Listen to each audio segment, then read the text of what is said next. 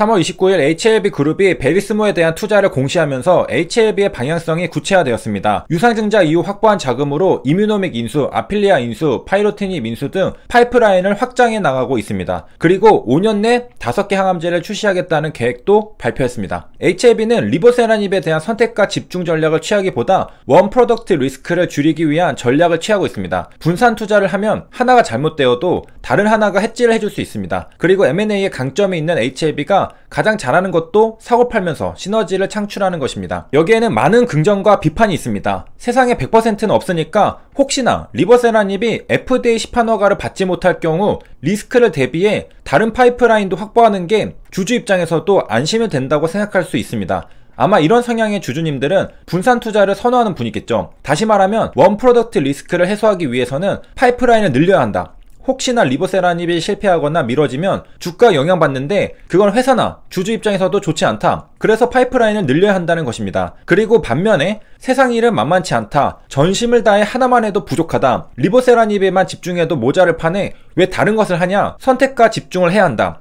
이렇게 말씀하시는 주주님들도 계실 겁니다. 이런 주주님들은 소수 종목 집중 투자를 선호할 것입니다. 워낙에 관심도 많고 비판도 거세다 보니 HLB의 확장 전략을 시니컬하게 바라보시는 주주님들은 HLB를 제약바이오의 다이소, 김밥천국이라 말하시는 분들도 계십니다. 저는 다이소도 자주 가고 김밥천국도 갑니다. 좋아합니다. 사실 둘 다 맞는 말입니다. 그래서 판단하기 어려운 것입니다. 이것은 옳고 그름의 문제가 아니라 사업을 바라보는 가치관의 문제라고 볼 수 있습니다. 저는 어느 쪽이냐? 굳이 말한다면 선택과 집중을 좋아합니다. 제 3의 의견도 있습니다. 아니다. 사실 HLB는 인수합병에 선택과 집중하고 있는 것이다. 가장 잘하는 것은 M&A니까 본업에 집중해서 회사의 가치를 끌어올리고 있다는 의견입니다. 그래서 저는 구체적으로 말하자면 HLB가 M&A에서 선택과 집중을 잘하고 있다고 생각하는 쪽입니다. 가끔 어떤 기업을 인수할까 궁금할 때가 있는데요. 이번에 베리스모도 처음에는 신생 기업의 홈페이지도 부실해서 페이퍼 컴퍼니 마냥 수상해 보였으나 회사의 자세한 설명을 듣고 보니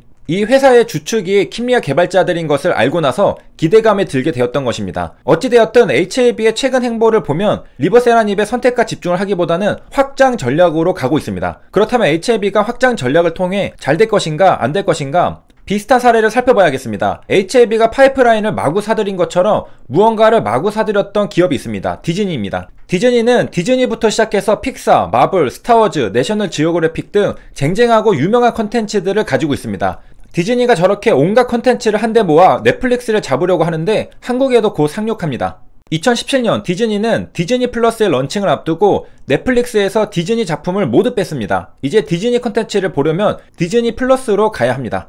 디즈니는 정말 많은 콘텐츠 기업들을 인수했습니다. 이런 느낌인 것이죠. 디즈니 원작 애니메이션이 마음에 안 들어? 픽사 봐. 픽사 마음에 안 들어? 마블 봐. 마블도 마음에 안 들어? 내셔널 지오그래픽 봐. 이렇게 소비자는 선택할 수 있습니다. HLB도 이제 다양한 신약 파이프라인을 가지고 있습니다. 만약 어떤 적응증에 아필리아가 안 들어? ITI 1000 써봐. ITI 1000도 안 들어? 리보세라닙 써봐. 리보세라닙도 안 들어? 그럼 CAR-T 써봐. 등등 정말 다양한 전략을 취할 수 있습니다. 물론 컨텐츠 기업과 신약 개발 기업은 업종 특성에 있어서 여러 가지 차이가 있습니다. 느낌은 비슷하다는 것입니다. 느낌이 비슷한 이유는 아마도 디즈니가 정말 좋은 기업을 인수하듯이 HLB도 정말 좋은 기업을 인수하려고 노력하는 부분에 있습니다. 사실 현재 신약 개발 회사가 된 HLB의 성장 동력은 리보세라닙이었습니다. 처음부터 HLB 것이 아니었습니다. 리보세라닙의 권리를 인수하고부터 시작된 것입니다. 리보세라닙의 효능에 대해 의심하는 분은 거의 없을 겁니다. 단지 OS 미확보로 현재 허가가 날 수 있느냐에 대한 의심일 뿐입니다. 효능이 있는지 없는지 어중간한 그저 그런 약이 아닌 좋은 신약 후보 물질 리보세라닙을 인수해서 사업을 이끌어왔고 최근에는 CAR-T 치료제 개발 회사 베리스모에도 투자했습니다. 그냥 개발사가 아닌 킴리아 개발자들입니다.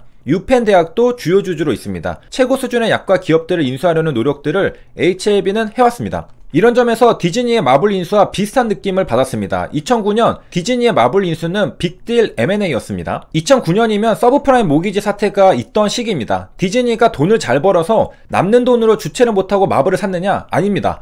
디즈니는 경제 위기로 매출이 급감했고 위기였습니다. 돌파구를 마련하기 위해 추진한 M&A가 마블 엔터테인먼트였던 것입니다. HLB가 리보세라닙의 FDA 허가가 지연되니까 돌파구를 마련하기 위해 최근에 베리스모를 인수하는 것과 비슷하다고 볼 수 있습니다. 물론 회사 내부적으로는 위기를 타개하기 위한 특단의 조치가 아닌 그냥 일상 업무를 하는 것으로 볼 수 있으나 외부 투자자의 시각으로 보면 위기를 타개하기 위한 전략이 아니었겠느냐 스토리텔링을 할 수 있는 것입니다. 디즈니도 위기를 타개하겠다는 것보다 그저 기회가 보여서 인수 결정을 한 것인데 뉴스 기사들에서는 돌파구로 마블을 인수했다 라고 말할 수 있는 것입니다. 자, 그런데 두 기업 모두 공통점은 위기 시기에 인수를 결정한 것입니다. 디즈니가 마블을 인수할 당시 주요 외신들은 실익을 얻기 위해 풀어야 할 실타래가 만만치 않다고 다소 회의적인 시각을 보였습니다. HLB도 주가가 안 좋을 때 베리스모 투자건이 나오니까 사람들이 시큰둥합니다. 그도 그럴 것이 사람들은 linear하게 생각합니다. 기업이 안 좋아지고 있을 때 어떤 조치는 투자자로 하여금 그게 될까? 회의감을 갖게 합니다. 기업이 좋아지고 있을 때는 어떤 조치를 해도 실적을 더욱 증폭시킬 최선의 조치처럼 느껴지기도 합니다. 추세에 따라 생각하는 것입니다. 그런데 우리가 결과적으로 보면 알겠지만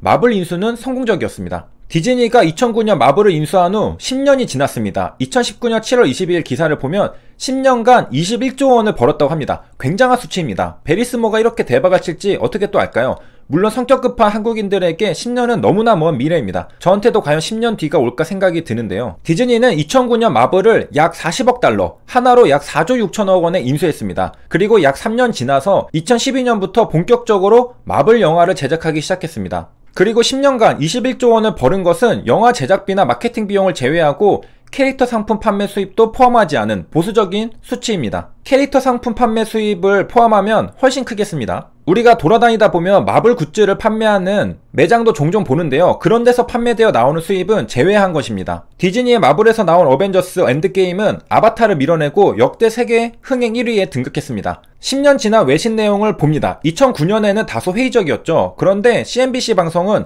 이제 아이거 CEO가 옳았다고 평가했습니다. 디즈니가 매출이 급감하고 위기 상황에서는 마블 인수가 돌파구로 쉽지 않아 보입니다. 그런데 10년 지나고 다시 되돌아보니 그때 당시에는 맞는 선택이었다는 겁니다. 이런 심리는 주식 투자할 때도 많이 보입니다. 주가가 연일 우하향하고 최저점을 돌파하고 있을 때 투자에 들어가는 사람들이 있습니다. 다른 사람들이 볼 때는 가망이 없어 보이죠? 우하향하니까 주가가 앞으로도 우하향할 것 같고 도저히 반등의 기미가 안 보입니다. 그런데 몇 년 뒤에는 신고가를 치는 기업이 되기도 합니다. 2019년 HLB가 그런 기업이었다고 볼 수 있습니다. 2019년 6.17 당시에 남들이 볼 때는 임상 실패하고 이제 잘하면 현상 유지, 안 되면 꾸준히 우하향하다가 사라질 기업이라고 생각했겠지만 에스모 발표 이후에 초급등하며 다시 왕의 기한을 했습니다. 그 당시 HLB를 2만원대에서 투자했던 사람들은 밥 아이것처럼 위기 속에 기회를 본 것입니다. 남들이 고개를 절레절레 흔들 때 냉철하게 분석해보니 되겠다 싶어서 뛰어든 것이죠. 그 당시에는 조롱과 비판도 많이 받았을 테지만 지나고 보면 결국 맞았죠. 627 이후 HLB 투자하는 친구를 보고 다른 좋은 종목 많아 왜 하필 HLB를 샀니 하고 위로와 격려를 하던 지인이 이후 20만원까지 초급등하는 HLB를 보고 HLB 사도 될까? 물어보는 경우도 많았을 겁니다. 투자는 지나고 봐야 아는 것입니다.